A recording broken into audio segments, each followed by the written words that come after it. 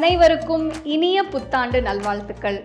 So இன்னைக்கு நம்ம இந்த அருமையான நாளில் ரெண்டு அட்டகாசமான ரெசிபீஸை நம்ம பார்க்க போகிறோம் ஸோ ஒன்று வந்து பச்சரிசி பாயசம். ஸோ நம்ம இந்த நாளை நல்லா இனிப்பாக செலிப்ரேட் பண்ணுறதுக்காக ஒரு நல்ல ரெசிபி அதே மாதிரி நம்ம எல்லாருக்கும் பிடிச்சது வடை மெது வடை. ஸோ வடை இல்லாமல் எப்படிங்க நம்ம வந்து புது வருஷம்லாம் நம்ம செலிப்ரேட் பண்ணுறது ஸோ இந்த ரெண்டு சூப்பரான ரெசிபீஸ் தான் இப்போ பார்க்க போகிறோம் ஸோ வாங்க இது எப்படி செய்யறதுன்னு பார்க்கலாம்.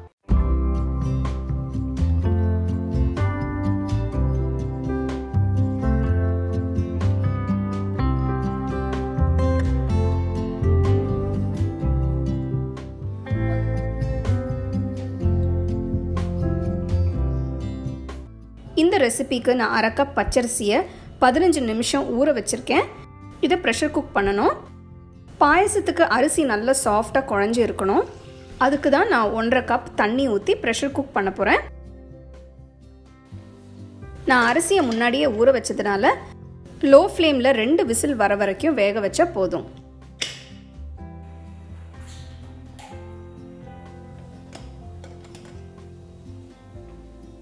சாதம் நல்லா சாஃப்டாக வெந்திருக்கு.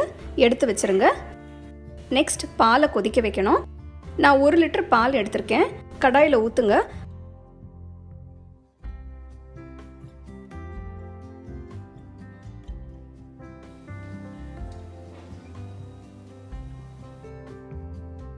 பால் நல்லா கொதிக்கட்டும்.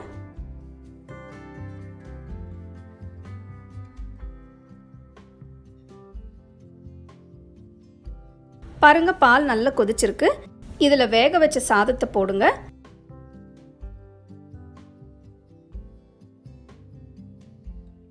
நல்லா கலந்து விடுங்க. பாலை அப்பப்போ கிண்டி விடணும். அப்பதான் பால் அடிப்பிடிக்காமல் இருக்கும்.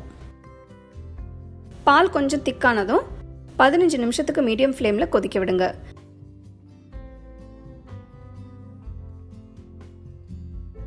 பால் நல்லா திக்காயிடுச்சு.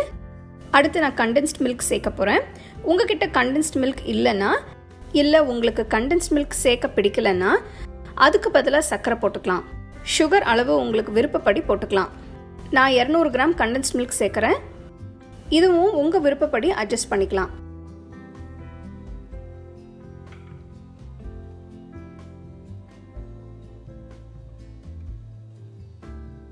அடுத்து முந்திரி பருப்பையும் திராட்சையும் வறுக்கணும். தாளிப்பு கரண்டியில் ரெண்டு டீஸ்பூன் நெய் ஊற்றி முந்திரி பருப்பு போடுங்க.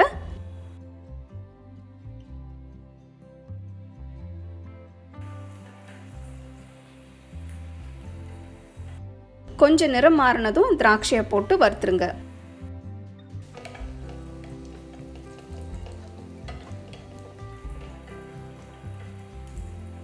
திராட்சை நல்லா உப்பிடுச்சு எடுத்து வச்சிருங்க. இப்போ அரை டீஸ்பூன் ஏலக்காய் தூள் வறுத்த முந்திரி திராட்சை போடுங்க. நல்லா கலந்து விடுங்க. இந்த ரெசிபிக்கு நான் புதுசாக சாதம் வேக வச்சு யூஸ் பண்ணேன். ஆனால் முன்னாடியே சமைச்ச சாதம் இருந்தால் அதையும் யூஸ் பண்ணலாம். பச்சரிசி பாயசம் இப்போ ரெடியாக இருக்குது பார்க்கவே டேஸ்ட்டாக இருக்குது நல்ல வாசனையாகவும் இருக்குது இதை சூடாவோ இல்லை சில் பண்ணியும் பரிமாறலாம்.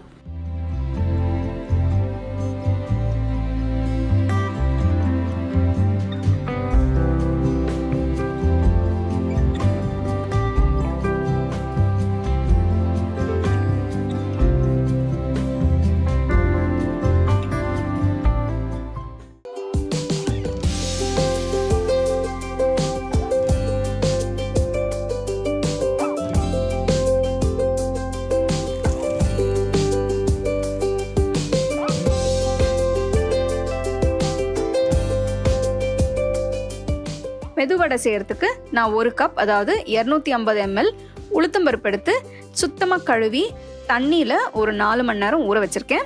நாலு மணி நேரம் கழித்து பார்த்தீங்கன்னா உளுந்து நல்லா ஊறி இருக்கு நல்லா உப்பி இருக்கு. வடை செய்யும் போது மினிமம் ஒரு நாலு மணி நேரம் கண்டிப்பாக ஊறணும். அடுத்து நம்ம பருப்பு அரைக்கணும். இதுக்கு தண்ணி இல்லாமல் நல்லா வடிகட்டி உளுந்தை கொஞ்சம் கொஞ்சமாக போட்டு மிக்சர் ஜாரில் நல்லா மையாக அரைச்சிக்கணும். இப்போ ஊற வச்ச உளுந்தை பாதி எடுத்து மிக்சர் ஜாரில் போட்டு தண்ணி கொஞ்சம் கொஞ்சமாக ஊற்றி நல்லா கட்டியாக அரைச்சிக்கணும். இப்போ பார்த்தீங்கன்னா நான் தண்ணி கொஞ்சமாக தான் எடுத்திருக்கேன் அரைக்கிறதுக்கு.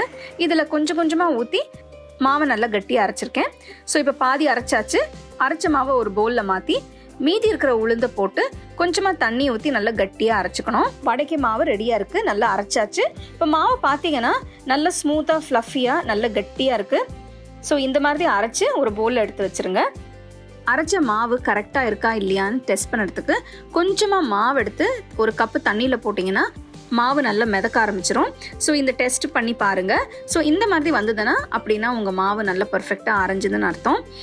இப்போ அரைச்ச மாவை நான் ரெண்டு மணி நேரம் ஃப்ரிட்ஜில் வைக்க போகிறேன் இப்போ மாவை நான் ஏன் ஃப்ரிட்ஜில் வைக்கிறேன்னா நம்ம மிக்ஸி ஜாரில் போட்டு அரைக்கும் போது மிக்ஸி கொஞ்சம் சூடாகிறதுக்கு வாய்ப்பு இருக்குது ஸோ மாவை நான் ரெஃப்ரிஜரேட் பண்ணிவிட்டு அதுக்கப்புறம் வடை போட்டேன்னா நல்லா சூப்பராக வரும்.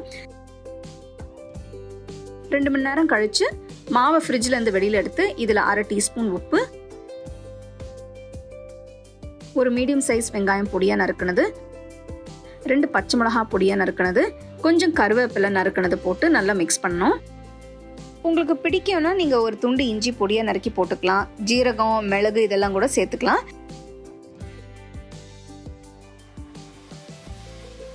ஸோ இப்போ வடை மாவு ரெடியாக இருக்குது ஒரு கடாயில் தேவையான அளவு எண்ணெயை ஊற்றி எண்ணெய் சூடான உடனே மீடியம் ஃப்ளேமில் வச்சுக்கோங்க. நான் வடை தட்டி போடுறதுக்கு வாழை இலை எடுத்திருக்கேன். இது எனக்கு ஈஸியாக இருக்கும்னு நான் இது யூஸ் பண்ணுறேன் நீங்கள் கையிலையும் தட்டி போடலாம் இல்லைனா ஒரு பிளாஸ்டிக் ஷீட்டில் அதுலேயும் வச்சு நீங்கள் போடலாம். வடை போடுறதுக்கு முன்னாடி ஒரு கப்பில் கொஞ்சமாக தண்ணி எடுத்துக்கோங்க. அடுத்தது கையில் கொஞ்சமாக மாவு எடுத்து இலையில் வச்சு நல்லா தட்டி கையை கொஞ்சம் தண்ணியில் நனைச்சி தட்டினீங்கன்னா நல்லா ஸ்மூத்தாக வரும். வடை நடுவில் ஒரு சின்ன ஓட்டை போட்டு மெதுவாக எண்ணெயில் போட்டுருங்க. ஃப்ளேம் மீடியமில் வச்சு பொரிச்சிங்கன்னா தான் நல்லா முழுசாக நல்லா மெதுவாக நல்லா பொரிக்கும். அப்போ தான் உங்களுக்கு கலரும் நல்லா வரும். உள்ள வரைக்கும் நல்லா வேகும்.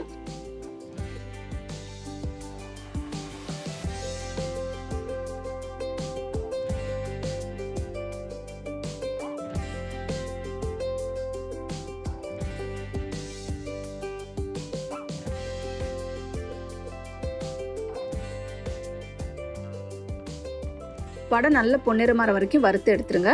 இப்போ பார்த்தீங்கன்னா அருமையான சூப்பரான மெதுவடை ரெடியாக இருக்குது இப்போ பார்த்தீங்கன்னா எவ்வளோ கிறிஸ்பியாக இருக்குது பாருங்கள் நான் உடச்சி காட்டுறேன். உள்ளே அவ்வளோ சாஃப்டாக இருக்குது ரொம்ப டேஸ்டியாக இருக்குது இது நீங்கள் தேங்காய் சட்னி இல்லைனா சாம்பார் வச்சு சாப்பிட்டிங்கன்னா ரொம்பவே அருமையாக இருக்கும். ஸோ கண்டிப்பாக இந்த ரெசிபி உங்களுக்கு பிடிச்சிருக்கும்னு நினைக்கிறேன். ஸோ இந்த மெதுவடையை நீங்கள் கண்டிப்பாக வீட்டில் ட்ரை பண்ணி என்ஜாய் பண்ணுங்கள் ஸோ ரெண்டு அருமையான ரெசிபிஸ் நம்ம இப்போ பார்த்துருக்கோம். ஸோ நீங்கள் அந்த பச்சரிசி பாயசம் வந்து ரொம்ப ஈஸியாக செஞ்சிடலாம் ரொம்ப டேஸ்ட்டாக இருக்கும். அதே மாதிரி இந்த மெதுவடை நீங்கள் செஞ்சு சாப்பிட்டீங்கன்னா பிரமாதமாக இருக்கும். உள்ளே நல்லா சாஃப்டாகவும் வெளியில் செம்ம கிறிஸ்பியாக இருக்குங்க. கொஞ்சம் தேங்காய் சட்னி வச்சு நீங்கள் அதை சாப்பிடுங்க. கண்டிப்பாக எல்லாருமே ரொம்ப என்ஜாய் பண்ணுவாங்க. ஸோ இந்த ரெண்டு ரெசிபீஸும் நீங்கள் ட்ரை பண்ணி ரசித்து ரசித்து சாப்பிடுங்க.